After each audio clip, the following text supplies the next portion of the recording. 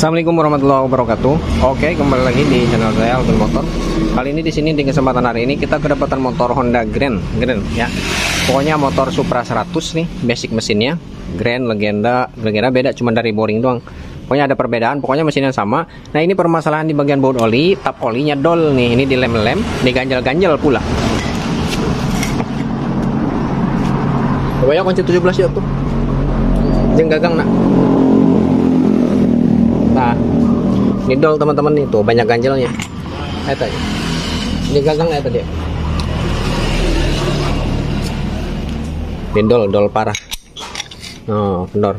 Ini sampai olinya juga sampai berantakan. Ini dari oli kayaknya dari tap oli nih. Dol. Tuh. Dol parah. Kita buka. Kita senai ulang, kita drat ulang. Oh ganjalnya juga ada kaleng segala nih. Ini drat ininya masih bagus, otomatis besi, bautnya kan besi. Di bagian sininya ini aluminium, hancuran. Kalau dipaksa dikencangkan, yang kalah ini hancurannya. Ininya nggak mungkin selek, pasti ini ya yang kalah. Ini akibat torsi pengencangan baut oli yang terlalu kencang. Jadi feeling perasaannya berantakan, makanya sampai dol. Ya. Entah itu saat pemasangannya miring, langsung dipaksa aja. Kalau kondisi mesin panas tidak ada masalah menurut saya. Mau mesinnya panas pun kalau pemasangan atau pelepasan di bagian bautnya sesuai, torsinya tidak terlalu kencang, terus uh, feelingnya pas untuk torsi baut oli, itu tidak akan selek ya sekalipun tidak menggunakan kunci torsi karena feeling manusia itu lebih akurat dibanding kunci torsi. Kalau misalkan jiwa mekaniknya jiwa uh, otomotifnya melekat kuat untuk pengencangan baut itu mempunyai torsi tersendiri di dalam hatinya. Kalau sudah menyatu jiwa mekaniknya. Baut 8 tekanannya kencangannya seberapa untuk tap oli. Kekencangannya bagaimana? Jadi feelingnya sudah tertanam di dalam hati. Itu torsinya maksudnya torsinya sudah tertanam di dalam hati untuk pengencangannya. Untuk baut knalpot kekencangannya batas mana? Jadi udah mempunyai torsi tersendiri. Ya. Itu tapi lebih akuratnya menggunakan torsi kunci torsi. Dol resiko resikonya gini pengencangan oli ganti oli di bengkel-bengkel yang tanda kutip uh, yang mengerjakannya peeling pengencangan di bagian baut oli tidak kuat. Nah resikonya kayak gini jebol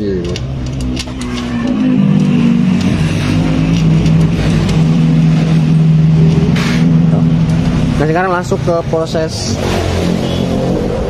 pengetapan. Ini kalau diganjal-ganjal pakai seng kayak gini, pengganjalannya harus disesuaikan. Ini pengganjalannya, ini jangan sampai bablas ke bagian dalam. Nah ini di bagian dalam ini ada saringan, saringan oli namanya untuk mencegah ada gram atau kotoran yang terhisap ke bagian pompa oli.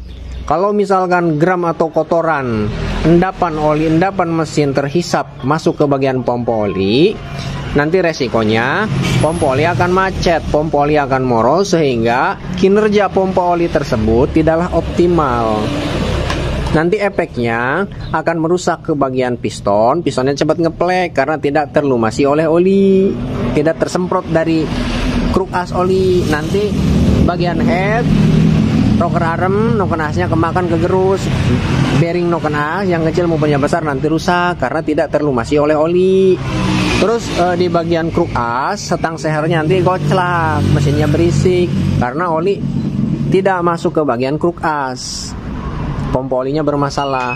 Ini resik uh, akibatnya sebabnya ini dari sini biasanya. Saringan oli yang bolong sehingga kotoran masuk ke bagian pompa oli. Nanti kalau udah pompa oli tidak memompa oli secara maksimal semuanya ambiar rusak mesinnya. Makanya hal sepele mengakibatkan resiko besar gitu sini. Ini coba kita lihat.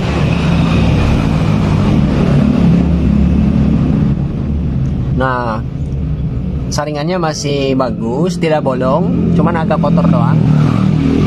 Oh, tidak bolong. Oke. Nah sekarang kita mulai proses pengetapan ya. Kita tap terlebih dahulu sebelum ditap. Kita kita bor dulu. Ya karena nanti pengetapannya ini terlalu bes terlalu kecil lubangnya. Kalau dipaksakan nanti bisa sempel bibirnya. Jadi kita tap kita ganti menggunakan baut 19 dratnya tapi kuncinya 17 saya lupa ini M berapa di bagian bautnya.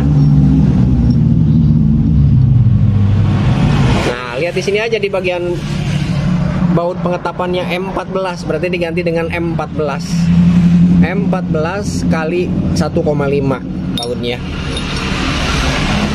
kalau teman-teman e, nyari bautnya susah bilang ke toko bengkelnya kalau beli, beli baut baut oli yang ukuran 19 dratnya gitu pasti kalau e, tukang spare partnya udah pengalaman dia udah paham gitu ya ini Nah sekarang kita bor. Sebelum melakukan proses pengeboran ini ada teorinya bos. Nih. Ini diukur sebatas mana dia mentok ke bagian saringan segini. Berarti segini. Nah saat proses pengeboran saya tidak fokus. Ini jangan sampai melebihi batas yang kita ada ukur ini. Tuh segini. Ya. Tuh kira-kira seginilah setengahnya bagi dua daripada ini. Dalamnya segini bagi dua segini aja masuknya. Udah. Nanti kalau bablas ke sana bisa jebol saringannya.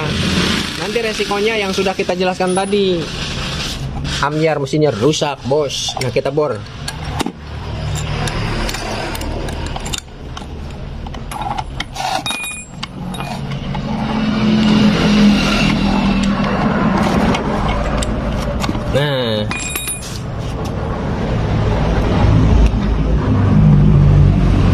nyusuh lah.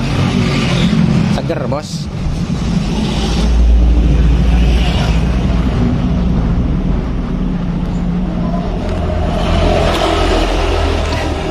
Bocor.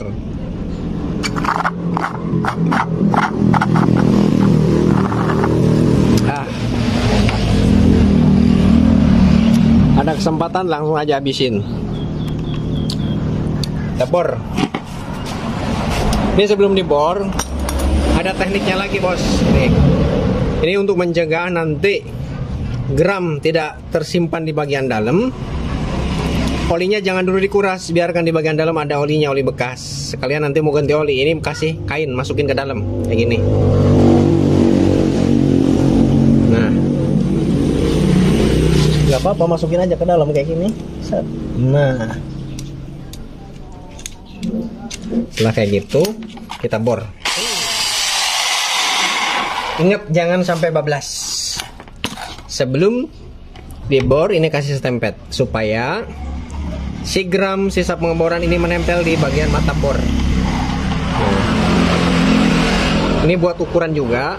Segini kira-kira. Jadi tingkat pengeborannya masuk ke dalamnya segini. Jangan sampai lebih dari segini. Kalau lebih dari segini nanti bisa blos saringannya rusak bos. Ini kita bor Bismillahirrahmanirrahim. Ini harus lurus.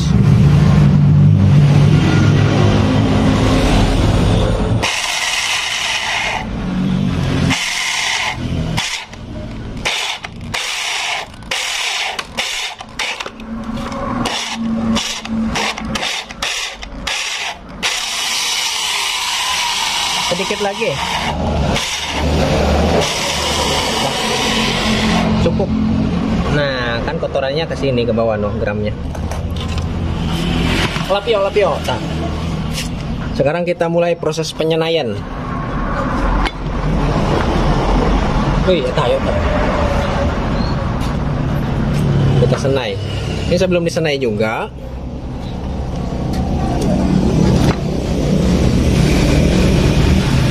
kita kasih template lagi di bagian tempat buat dratnya.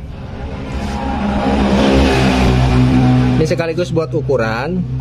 Penyenaiannya jangan sampai bablas lagi ke dalam. Kalau ke dalam nanti bisa bolong lagi ya saringannya. Mau pengeboran mau penyenaian ini jangan sampai bablas gitu maksudnya. Puter. Ini harus tengah posisinya karena ini untuk menentukan lurus dan tidaknya lubang tap oli nantinya.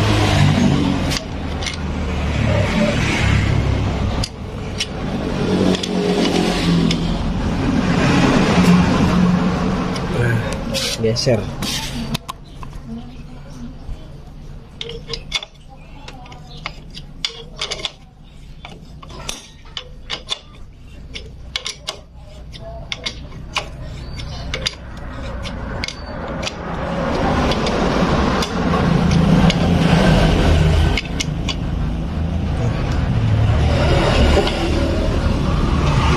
cabut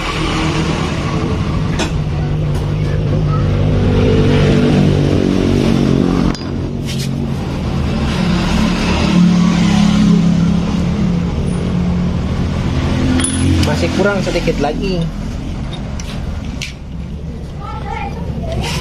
Ayah nah pedal bagus. Ya Ah, ada yang tadi aspir oke. Ada ya. sedang lah ya mah bagus itu goreng itu ya Tadi ayah ya deh ya lima kan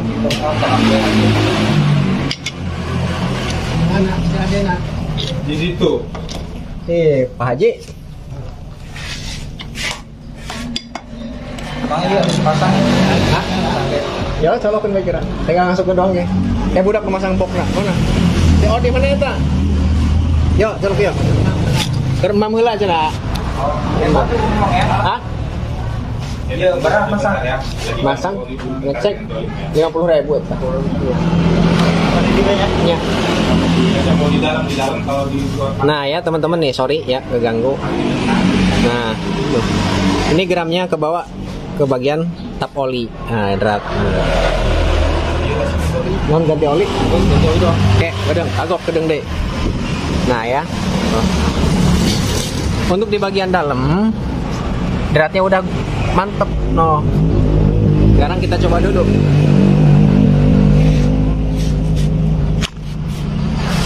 Coba dulu, pakai tangan aja dulu. Bang 40 kayaknya. Hah? 40 adek. kurang eta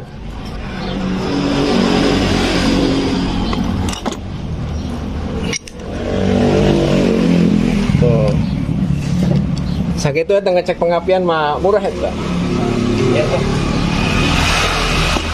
tuh. Ini udah kenceng. Nah. udah mantep.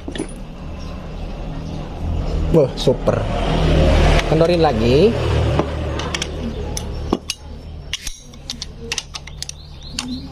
Kan sekalian mau ganti oli.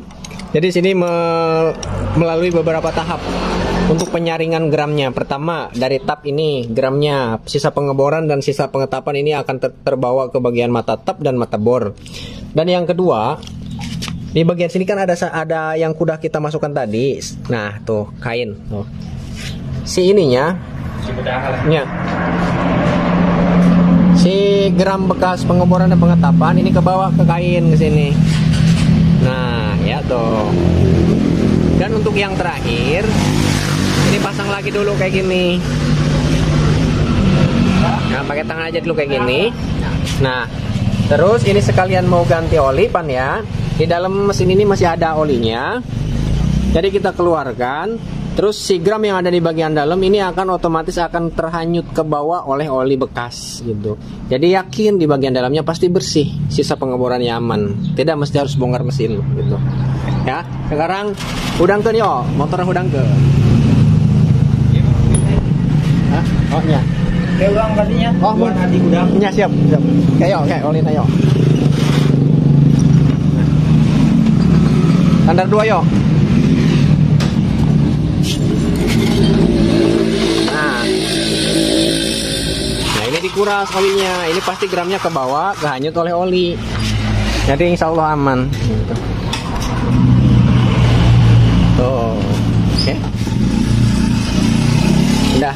Ini kita nunggu bersih, nanti kita semprot supaya lebih maksimal keluarnya olinya dan juga di bagian gramnya supaya lebih maksimal lagi. Nanti pasang baut, kasih oli, udah beres. Ya. Oke.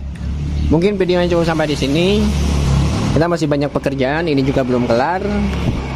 Motor itu belum kelar, ya. Banyak pekerjaan. Kurang lebihnya saya minta maaf. Nah, sedikit info lagi nih tadi belum kita jelaskan di bagian mata bor. Udah jelaskan apa belum ya? Mata bornya ukuran 12,5 mili. Saya gunakan 12,5. Terus mata tapnya yang menggunakan M14. M14 kali 1,5. Tuh. Dan juga untuk bautnya ini menggunakan baut 19. Untuk deratnya ini samakan dengan tap ukurannya M14. M14 kali 1,5 ya.